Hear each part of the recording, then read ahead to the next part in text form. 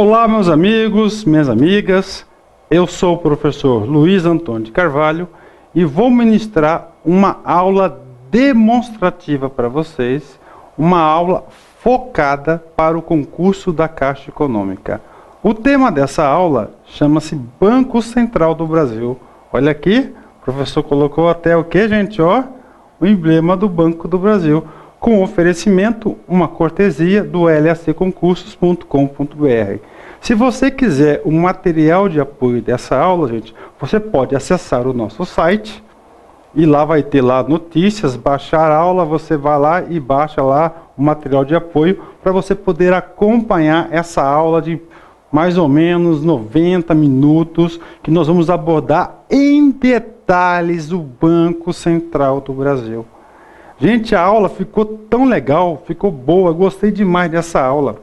Gente, nessa aula do Banco Central do Brasil, que é o Banco Central, o Bacen, gente, ela sempre está sendo cobrado esse assunto em provas de concurso. Daqui, minha estimativa são três questões na sua prova. Três questões de uma aula de 90 minutos. Por quê? Porque o professor abordou os assuntos importantes em detalhes, sem besterol, gente. Aqui é só o que? O estudo pragmático para concursos. Professor, essa aula é demonstrativa para qual concurso público? Gente, essa aula foi gravada hoje, no dia 26, domingo de fevereiro de 2012, para o concurso da Caixa Econômica concurso para o cargo técnico bancário, carreira fiscal. Site LAC Concursos. Professor, vocês estão oferecendo curso online? Sim, nós estamos oferecendo um curso para a Caixa Econômica, um curso online específico. Por que específico? Porque nós vamos oferecer somente algumas matérias. Língua portuguesa, o nosso grande mestre, professor Vinícius. Gente, o professor Vinícius irá gravar, a partir dessa semana já, dois simulados para vocês da banca 6 Gran Rio. Só resolvendo exercícios. Gente, com certeza, além das aulas teóricas que já contêm exercícios, vocês terão ainda mais dois simulados, cada um com 25 questões da banca 6 Gran Rio.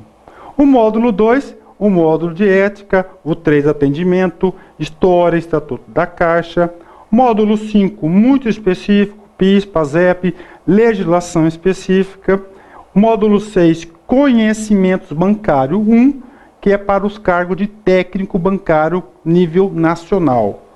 O 2 é somente para aqueles alunos que irão disputar o cargo de TI para os estados do DF, São Paulo e Rio de Janeiro. Essa é a estrutura do curso. Gente, olha só, nós do LAC Concursos estamos fazendo aqui um compromisso com vocês. Nós, que, nós inovamos nesse curso, nesse concurso online aqui. Nós queremos ter milhares de pessoas aprovadas no Brasil todo. O módulo 2 ao módulo 7 vai ser 100% regravado novo para vocês focado 100% para o concurso da Caixa, para essa banca. Nós já fizemos um estudo, gente, do perfil da banca e a partir desse estudo já tiramos o DNA, como que a banca gosta de abordar os assuntos na prova. Gente, essa aula é o que? Banco Central. Faz parte de que disciplina, para que módulo? Conhecimentos bancários. Esse módulo de conhecimentos bancários tem 34 videoaulas que vai atender mais de 100% o edital. Pode ficar tranquilos. Todas as videoaulas nós teremos exercícios e nós teremos a parte de teoria. E além disso, cada videoaula você vai poder fazer o quê? Você vai poder fazer o download do material de apoio que é um arquivo em PDF totalmente revisadas e regravadas, atualizadas, gravadas. Na verdade, elas são gravadas em 2012. Estamos gravando agora. Hoje, domingo, já gravei duas aulas. Amanhã, mais três e assim por diante, até chegar no número de 34. Todas essas aulas, gente, nós estamos pensando, está direcionada o concurso, não pela Banca ESAF, CESP, é, FCC, mas sim para a Sensgren Rio, o perfil dessa banca. Ou seja, nós pegamos provas anteriores dessa banca, analisamos o perfil para ter o que? Um curso online focado. Professor, está em gravação? Sim. Todas as aulas estão disponíveis? Não, mas nós temos um cronograma. Assim que as aulas são gravadas, nós disponibilizamos para vocês. A gente avisa lá na atualização, no Facebook a gente está sempre atualizando. Qual é o cronograma? Compromisso nosso, gente. Você conhece a gente, você sabe o nosso respeito, a nossa honradez. Conhecimentos bancários, as 34 aulas estarão disponíveis a partir Todas elas já têm aula disponível, já tem umas 10 aulas agora disponíveis, né? mas eu acredito que eu vou terminar de gravar as aulas de conhecimentos bancários, que é o maior módulo de todos, até o dia 5 de 3 de 2012, você terá aquelas 34 aulas. Professores, os demais módulos? Os demais módulos nós iremos concluir e entregar para vocês até o dia 13 de 3 de 2012. Pessoal, a prova é em abril. Ou seja, prazo suficiente para você assistir esse curso completo por duas vezes. Curso à distância na internet, uma vez não basta. Você tem que repetir as aulas. Legal, gente? Então, aqui apresentei o cronograma para vocês. Professor, o curso é pago? O curso é pago. A aula demonstrativa, ela é free, você vai assistir agora. Como, professor? Quanto custa o investimento? 90 dias. Professor, eu posso assistir uma vez só a aula? Não. Gente, não há restrição. 90 dias de acesso irrestrito. Ou seja, você pode acessar quantas vezes quiser, assistir quantas vezes quiser cada aula e na hora que quiser. Só tem uma restrição. Ao mesmo tempo, o mesmo login, o site não permite que duas pessoas acessem ao mesmo tempo. É a única restrição. Para isso, eu quero que vocês acessem lá a nossa FAQ e assistam o curso. Gente, olha só. Esse é o nosso site, lscconcurso.com.br. Esse aqui é o meu Facebook, né? Professor Luiz Antônio. Vamos lá, me adicione. É um grande instrumento de comunicação que eu estou feliz, porque eu estou conseguindo, eu estou conseguindo ter um canal de comunicação direto com meus alunos, eles me mandam mensagem, dúvidas, esclarecimentos. Gente, eu estou apaixonado pelo Facebook, eu não conhecia. Legal! Não deixe para amanhã o que você pode fazer hoje. Gente, aula demonstrativa. O que? Conhecimentos bancários, Banco Central. Gente, o Banco Central não é um banco, é o banco. Então, professor, já gravou essa aula, estou fazendo só essa vinhetinha para vocês aqui. E professor, como é a aula, eu escolhi o figurino para a gente assistir essa aula. Ok? Sem demorar muito, vamos para a aula demonstrativa. Boa aula, gente!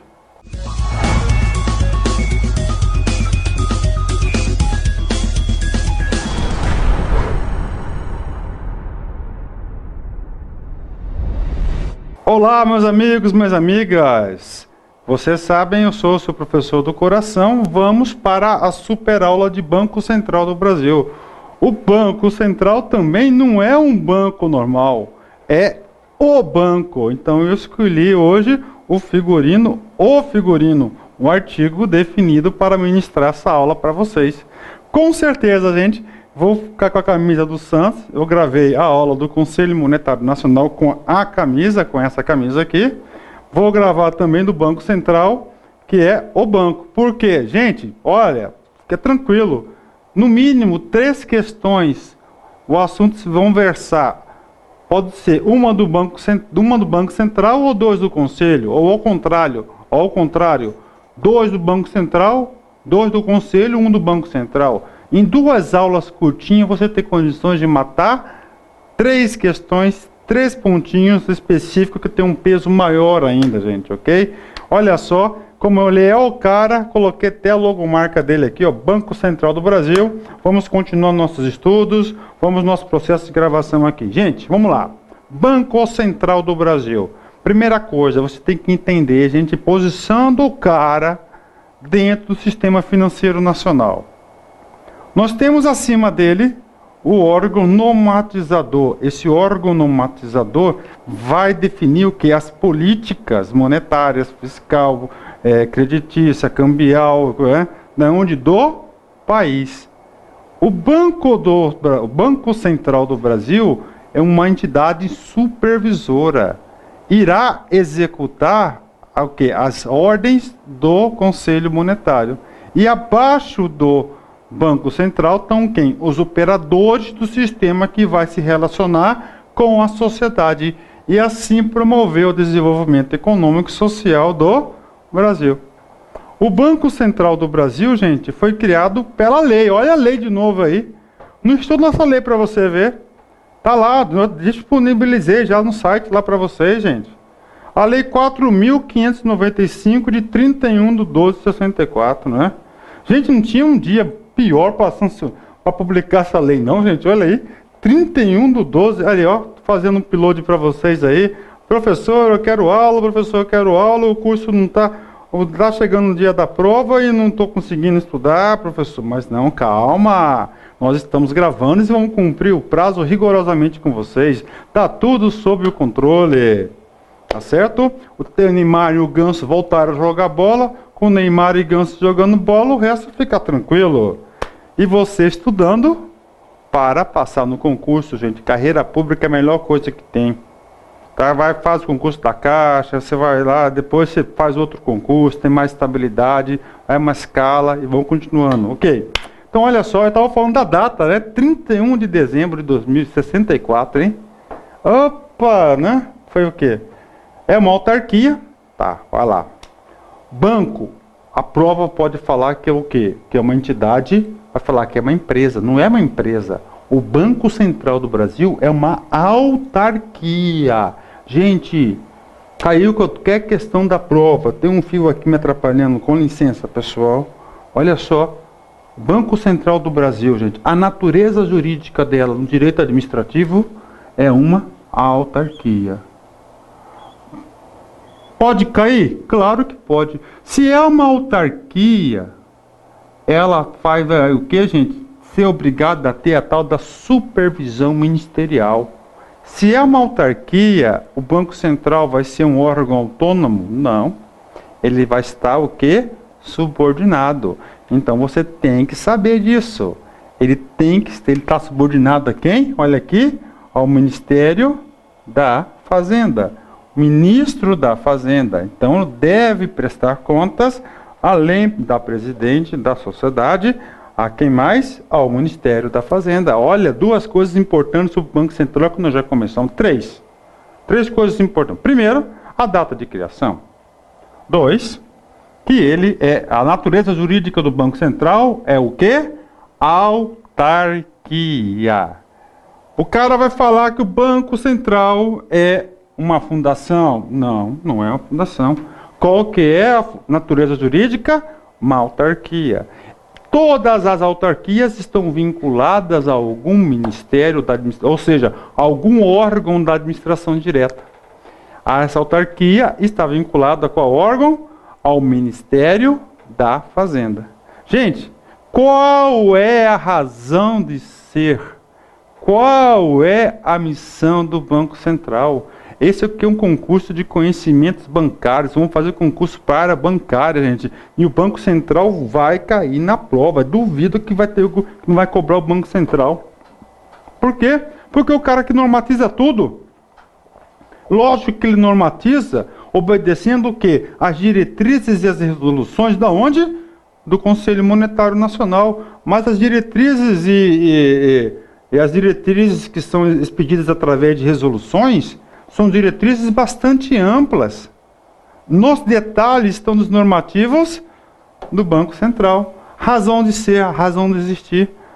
Razão de existir do Banco Central: assegurar a estabilidade do poder de compra da moeda e de um sistema financeiro sólido e eficiente. Olha só, gente, assegurar a estabilidade do poder de compra, gente. Gente, o que, que acontece? Ó, se você tem uma moeda desvalorizada, você perde o seu poder de compra. Se você tem, gente, uma moeda valorizada, você fica excluída do mercado internacional. Então você tem que ter o quê? A estabilidade. Então aqui não é nem o fortalecimento, né, gente? Nem o que? Você ter uma moeda, um poder de compra reduzido. Ele quer assegurar a estabilidade do do poder de compra da moeda. E uma conjunção do sistema financeiro sólido e eficiente. Então essa missão do Banco Central coloca no caderno, missão do Banco Central, assegurar a estabilidade do poder de compra da moeda e o sistema financeiro e um sistema financeiro sólido e eficiente. Ok. Entre as principais atribuições do Banco Central, destacam-se a condução das políticas. Gente, essa palavra aqui é importante que ela pode cair, gente, ó. Condução. Condução é diferente de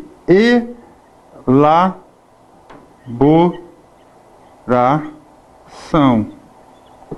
Essa elaboração, quem vai fazer é o Conselho Monetário Nacional. Então ele vai o quê? Conduzir as políticas. Então, olha, ele vai o quê? Ele vai, ele é o tático na história, né?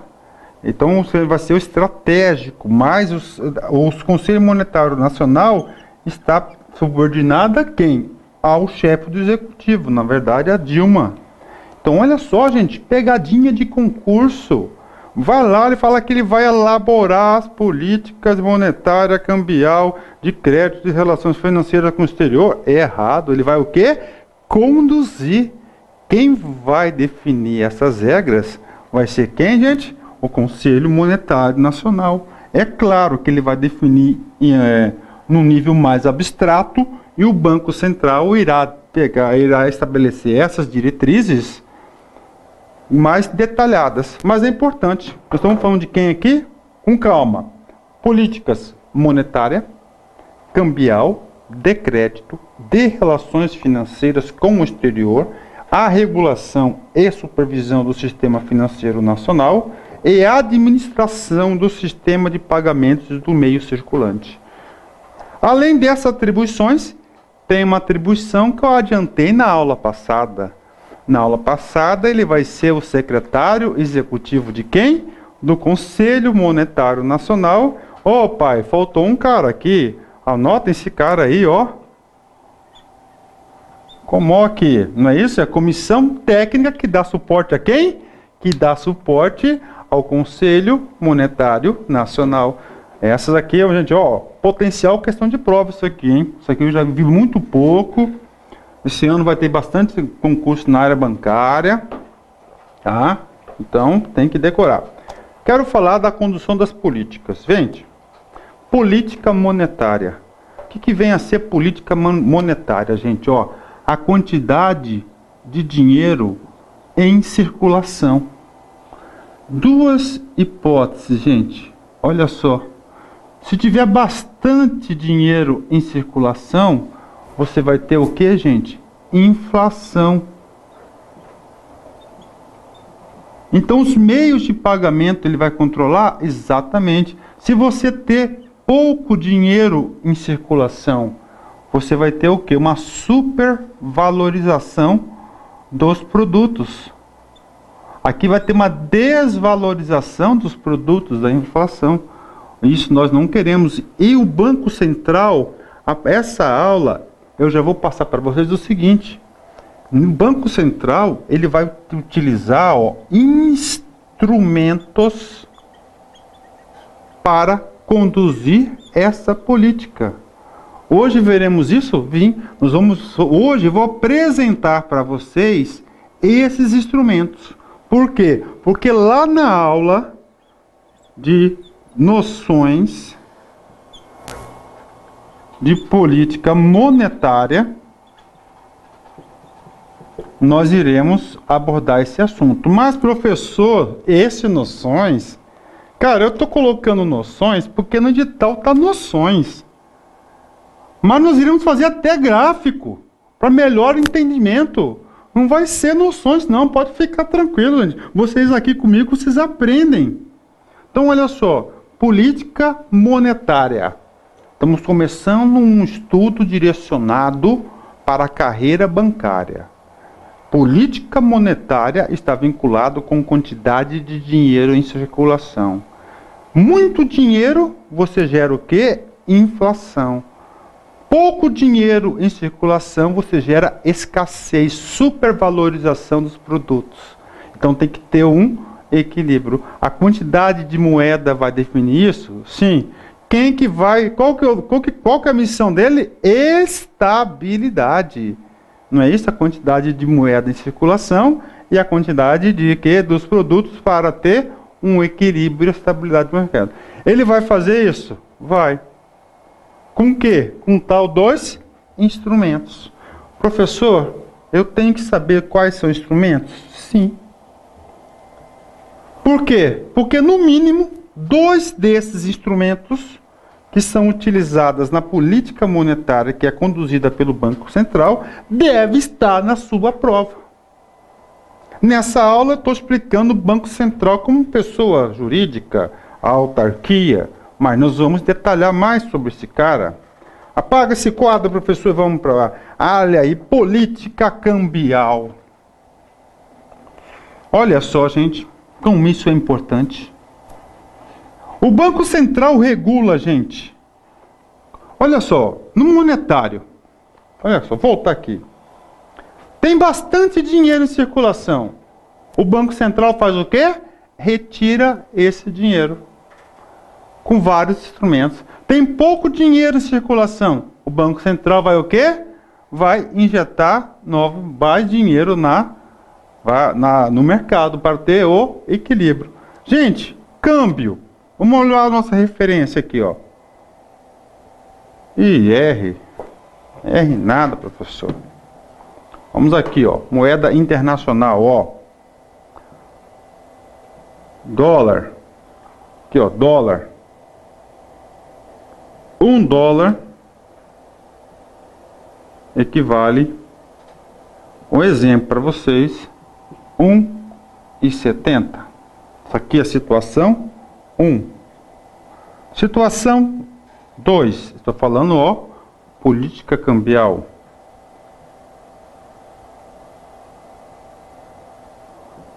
um dólar equivale, ó, dois reais. Situação três. Uh, um dólar equivale, ó, ó, um e trinta Cara, presta atenção aqui, meu. Um caso 2. Um dólar vale dois reais. Aqui você vai estimular o comércio exterior? Sim. Importação ou exportação? Ó, exportação. Porque o dólar é alto, os commodities. Então vai entrar o que? Dólar no Brasil. Professor, aqui um dólar que vale a 1,30. Você vai estimular a exportação ou a importação? A importação. Importação.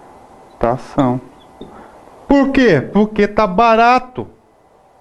Dólar baixo, brasileiro vai em Nova York e faz a festa, gente. É barato, já fui lá, compensa. Né? Nessa história eu não sei quem que está ganhando. É, se é o empresário ou o governo, que a diferença de preço é gigantesca. Então o Banco Central tem que para provocar o que, gente? Ó, um equilíbrio. Como é que ele provoca esse equilíbrio? ou comprando dólar.